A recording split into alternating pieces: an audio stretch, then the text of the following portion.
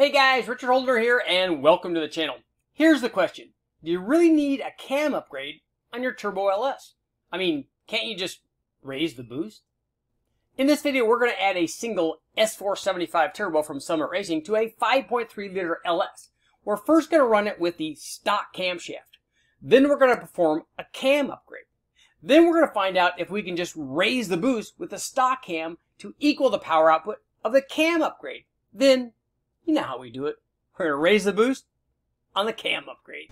To illustrate the difference in power gains offered by just raising the boost with a stock cam on an LS or adding a camshaft to your Turbo LS, obviously we have to start out with a Turbo LS. But before we can do that, we have to start out with a naturally aspirated LS and show what happens when we first add boost to it. So this particular motor was a 5.3 liter, but it was a modified version actually belonging to David Freiberg. So thumbs up to David for allowing me to use it for this test way back. It was a 5.3 liter LM7, but it did have forged rods and forged pistons. Now the pistons were dish, which brought the compression down from the factory. It was equipped with a set of TrickFlow 205 CNC ported heads, and in this case, it had a fast manifold for some other things that we were doing. Now, don't worry, don't freak out that it didn't have a truck manifold and stock 706 heads. What we're showing running the stock cam versus the aftermarket cam, in this case, it's a Pro LS cam from Summit, uh, the effect would be the same thing whether you grabbed a motor from the junkyard or in this case, we had a forged one that you know belonged to somebody else.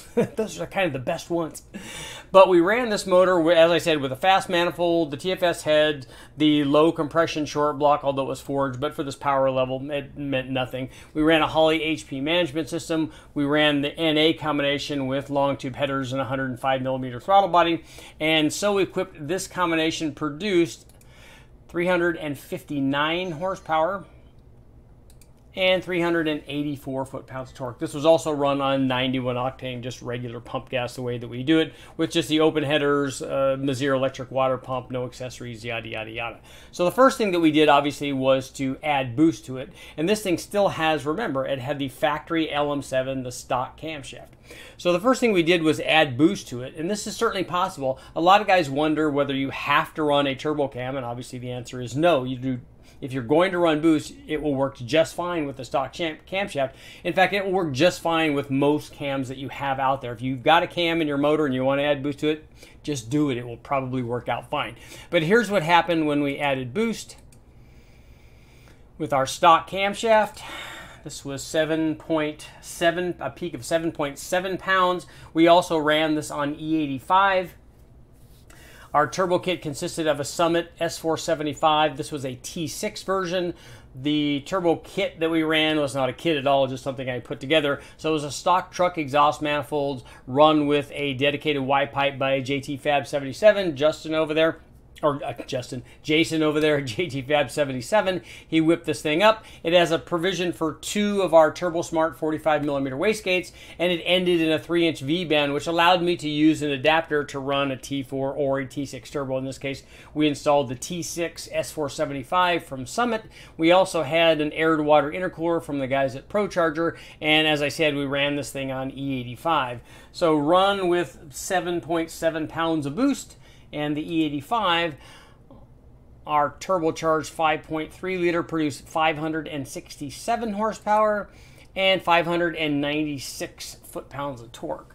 So we have right away the obvious answer is that you can add boost to your stock turbo. It works just I mean to your to your stock camshaft. It works just fine. It's not designed as a turbo camshaft obviously, but it works just fine. But the question is and this is for basically every LS owner, what happens when we then add a camshaft? What happens when we add a camshaft to this kind of boosted application and run it basically at the same power level? So let's take a look at that. Here's what happened when we ran boost on this baby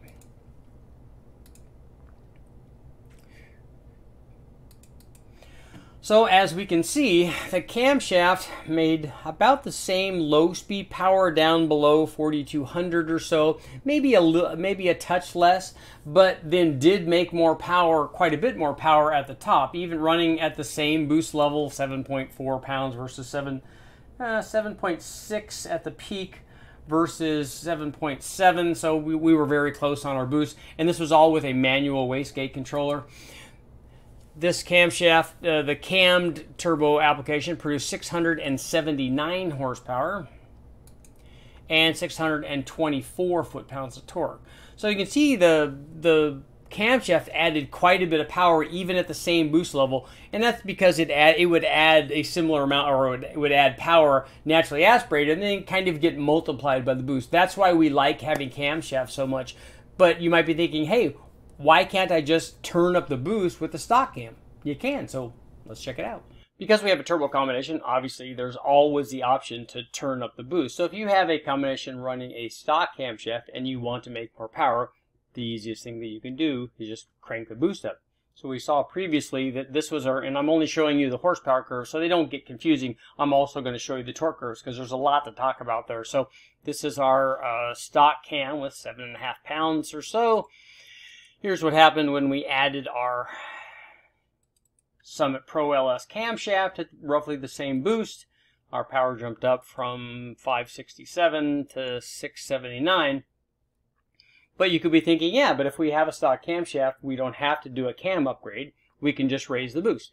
And here's what happened when we raised the boost from 7.5 up to 10.8.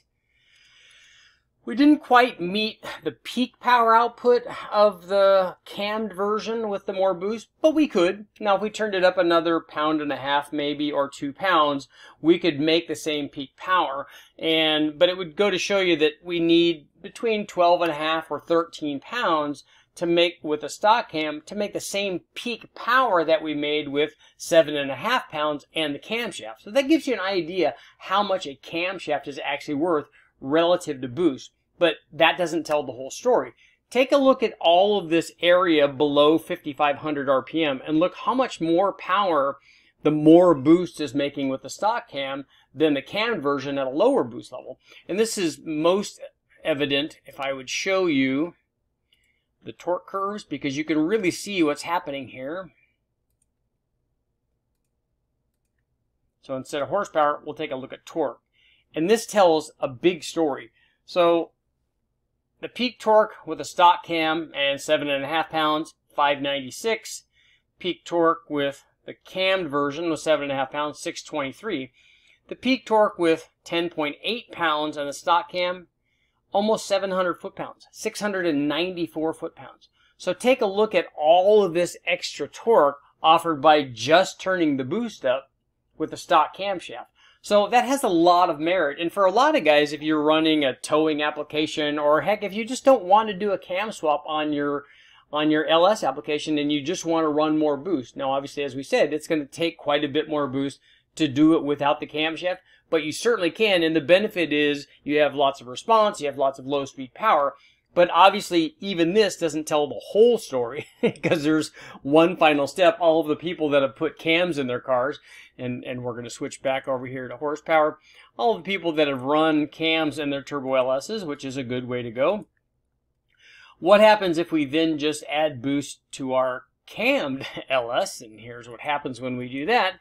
So we ran our cammed version with the Summit Pro LS cam at 10.8 pounds and you can see it did exactly what we would expect. It made a lot more power. As a matter of fact, it made the most amount of power, 771 foot-pounds, and made really every bit as much power as the cam, as the uh, high boost version with the stock cam. So there's something to be said for putting cams in your LS motor, but that's not the only option. As we've shown here, you can run and they work very well with stock cams. You can make good power. I mean, a motor that makes 650 horsepower with a stock cam is pretty sporty. It idles like a stock motor because it has a stock camshaft in it. Um, and it does all the things that you would expect. It just does more of it because you have boost. But if you want to make some serious power, obviously, the easy way to do that is to put a camshaft in it, do a cam, springs, boost. Obviously, it's a good idea to put, I always put head studs in there so that we put some ARP stuff in there, good head gaskets, and then you just go up in injector size and fuel pump, and you can make some serious power. I mean, this is 771 horsepower. We can take a look here at the, at the torque here. If I can get my, get my clicker to work here.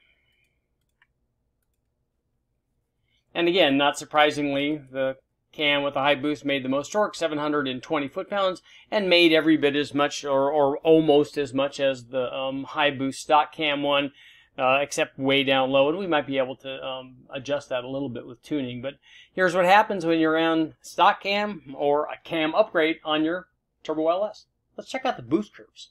Now that we've taken a look at the different options for improving power by running a stock cam and more boost or doing a cam upgrade on your LS, let's take quickly uh, take a look at the boost curves associated with all this testing. So this was our boost curve produced by our Summit S475 T6 Turbo, running at seven and a half pounds or so with the stock camshaft.